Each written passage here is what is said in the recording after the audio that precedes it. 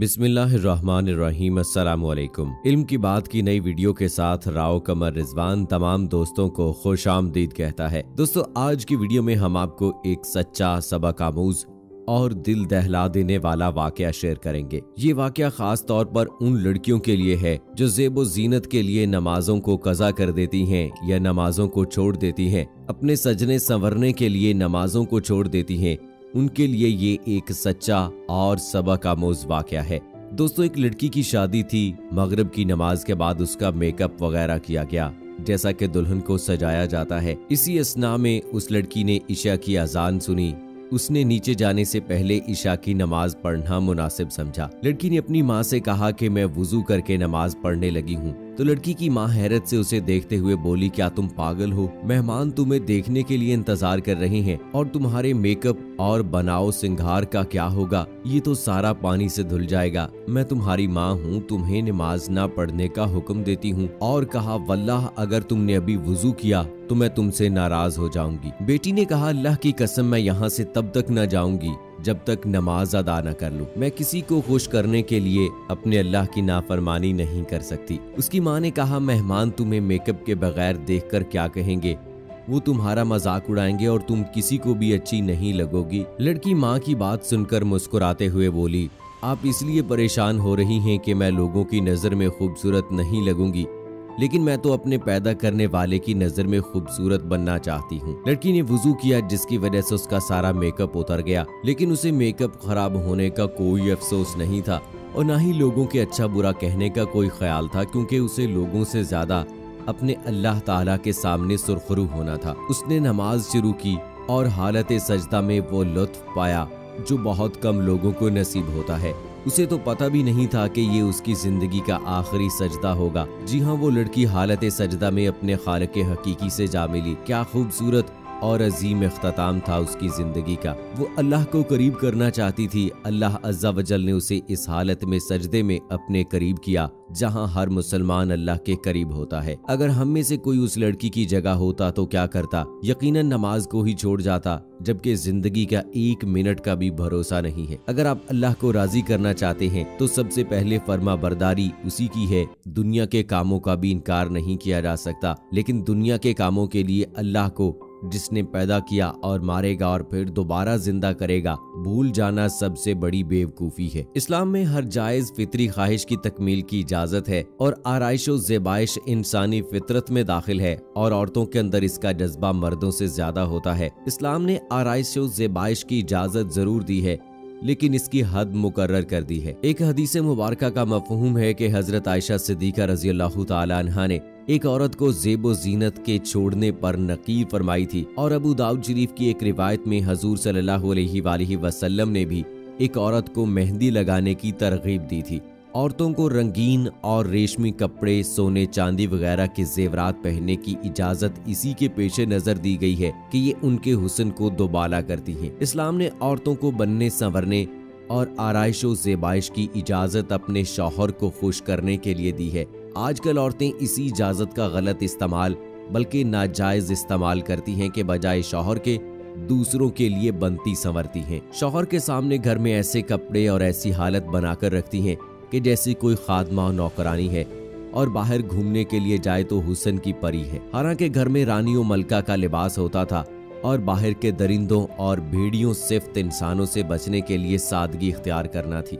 जो औरतें अपने शोहर को खुश करने के लिए अच्छा लिबास और आरइश जेबाइश करती हैं, उनके लिए सवाब भी है और जो औरतें इसके बरक्स करती हैं, उनके लिए गुनाह है। एक हदीस मुबारक में है कि अल्लाह ताला ने बाल जोड़ने वाली और दूसरे बाल लगवाने वाली और गूंदने वाली पर लानत फरमाई है। इन अहादीस मुबारक से मालूम होता है कि हुसन अल्लाह की अमानत और उसकी तखलीक का मजर है, जिसमें खुद साख्ता तब्दीली अल्लाह के निज़ाम में दखल है गोया ये औरत मसनूई बनावटी हुसन को पैदा करके और बालों और गालों को और जगह जगह थोड़ी थोड़ी तब्दीली करके अल्लाह से शिकवा करना चाहती है कि अल्लाह ताला ने ऐसा बनाना था, वैसा बनाना था। नाउजुबिल्ला आपने जो कमी रखी थी, हम उसको सही करके पेश कर रहे हैं। एक हदीस में नबी करीम सल्लल्लाहु अलैहि ने फरमाया, लानत है उस औरत पर जो मर्दों का लिबास पहने और लानत है उस मर्द पर जो औरत का लिबास पहने।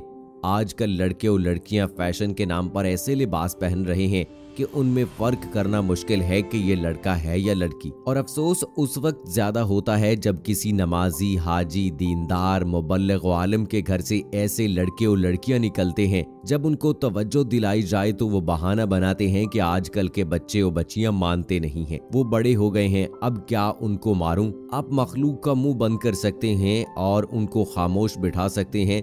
लेकिन क्या खालक के पास आपका ये बहाना चल जाएगा? बल्कि इस्लाम तो ये कहता है कि माँ बाप असल जिम्मेदार हैं। कपड़ों के लिए रकम कौन देता है? बाज़ार जाने की इजाज़त कौन देता है? उसमें कसूर जिम्मेदारों का है और आखिरत में इसकी पूछ बल्कि ये संगीन जुर्म कभी माफ़ भी नहीं हो सकता। एक हदीस मुबारक का मफहूम है कि तुम में काहिर एक जिम्मेदार है। और इससे इसके मातहत वालों की पूछगुछ होगी। आजकल घरानों में छोटी बच्चियों के बाल काटे जाते हैं, जिसे बेबी कट कहते हैं, ये भी इस्लाम में हराम है। और बच्चों को नाचने वालों के लिबास पहनाए जाते हैं, गरारे वगैरह। और ऊपर से बहाना बनाया जाता है कि अभी इनके खेलने के दिन हैं, बच्चे ही तो हैं। ये लड़कों की मुशाबियत वाला लिबास भी शरीयत में हराम है। और इस पर आज गिरफ्त नहीं की गई तो बड़े होने के बाद इस आदत को छुड़ाना ऐसा ही है जैसा कि बच्चे का दूध छुड़ाना और ये आदत उसकी कॉलेज वगैरह में खतरनाक साबित हो सकती है। एक और गुनाह घरानों में गैर महसूस तरीके से फ़ैशन के नाम पर दाखिल हो रहा है कि मुस्लिम औरतें और लड़कियाँ नाखन पॉलिश की आदत होती जा रही है। तमाम ओलमा का मुतफ़ा फैसला है कि नेल पॉलिश लगाने से औरत और लड़की का गसल नहीं होता। यानी वो पाक नहीं होगी जब तक के पालिश को खुरच कर निकाल ना डाले। कितनी औरतें हैं कि हमेशा नापाक ज़िंदगी गुजार रही हैं, ना उनका वज़ू होता है, ना उनका गसल। और न उनकी नमाज़। लिहाजा इस मसले पर फौरी तवज्जो देकर नेल पॉलिश की लानत और नहूसत से बचना चाहिए। और खास तौर पर जब शादी का मौका होता है तो शादी के मौके पर इस किस्म का मेकअप किया जाता है कि जिसमें नेल पॉलिश का ज़रूर इस्तेमाल किया जाता है। तो ये बात याद रखिएगा कि ऐसी खातन जो नेल पॉलिश का इस्तेमाल करती हैं तो ना उनका वज़ू होता है न उनका गुसल होता है। अलामा इबन जौजी ने अपनी किताब अहकामुन्निसा में ये लिखा है कि जो औरत किसी भी दवा और तेल वगैरह से अपने चेहरे को इसलिए मले ताकि रंग साफ़ हो, उस पर लानत है। एक हदीस में हजूर नबी करीम सल्लल्लाहु वसल्लम ने उन औरतों पर लानत फरमाई जो जिल्द की मालिश करती हैं और कराती हैं। अब गौर कीजिए कि ये ब्यूटी पार्लर में गाल, नाक, आँख, हलक ठोड़ी और गर्दन के ऊपरी हिस्से पर तेल या क्रीम लोशन से मालिश की जाती है और रंग को निखारने और जिल्द में चमक पैदा करने की जो कोशिश की जाती है, ये अमल चरण दुरुस्त नहीं है। अगर होंठों की साख तब्दील कराई जाए तो ये अमल भी नाजायज है। अक्सर सर्जरी के ज़रिए या दीगर जराये से इसमें हुसन पैदा करने और खूबसूरत बनाने की कोशिश की जाती है। इसमें भी तगैर खलाक आज़म आता है जो नाजायज है जिसकी किसी भी हिस्से पर मसनू तिल बनवाने में औज़ार का इस्तेमाल जिसम को आग में गर्म करके दागे जाने और किसी नोकदार चीज़ से जख्म बनाकर इस पर सुरमा या सफूफ भरकर कोई निशान तिल बनवाई जाए तो ये शक्ल भी नाजायज है जिसमें आप कह सकते हैं कि कोई टैटू वगैरह बनवाना भी जायज़ नहीं है। माजी में मेहंदी का इस्तेमाल औरतें हाथों और पैरों में करती थीं, लेकिन आजकल पेट पीठ जेर नाफ और घुटनों के ऊपर लगाई जाती है और मेहंदी के डिज़ाइन बनाकर इन हिस्सों की नुमाइश की जाती है। तकरीब में ऐसा लिबास पहना जाता है, जिसमें ये नक्शो निगार की जगह खुली होती है। ब्यूटी पार्लर में ये काम अक्सर मर्द अंजाम देते हैं, लेकिन अगर औरतें भी ये काम करें तो इन हिस्सों का औरतों के सामने खोलना और नुमाइश करना जायज़ नहीं है। तो अपने बच्चों की ऐसी ही तरबियत करें, जिस तरह एक लड़की शादी के दिन भी अपने मेकअप की परवाह किए बगैर नमाज़ के लिए वज़ू करने गई और जब नमाज़ अदा की तो आखिरी सजदे में उसकी रूह कब्ज कर ली गई। और क्या खूबसूरत वो मौत है कि जिसकी सजदे में मौत आए। ज़िंदगी कब किसकी, कहाँ, किस वक्त खत्म हो जानी है? ज़िंदगी की शाम कहाँ पे हो जाए, किसी को इल्म नहीं है। इसलिए अपने दुनियावी कामों की वजह से कभी भी नमाज़ को कजा मत करें। क्योंकि ऐसा ना हो कि ज़िंदगी की शाम हो और आप पर ऐसा कोई वक्त तारी हो।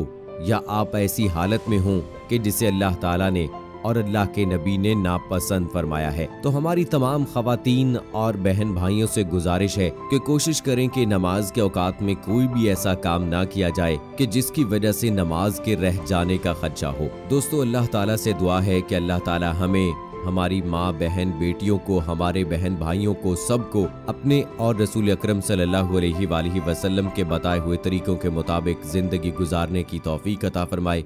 आमीन। सुम्मा आमीन। दोस्तों, कमेंट बॉक्स में आमीन लिखकर आप भी हमारी दुआ का हिस्सा बन जाइए। इस वीडियो को लाइक कीजिए, शेयर कीजिए अपने दोस्तों के साथ और मुझे अगली वीडियो तक इजाज़त दीजिए। फ़ी अमान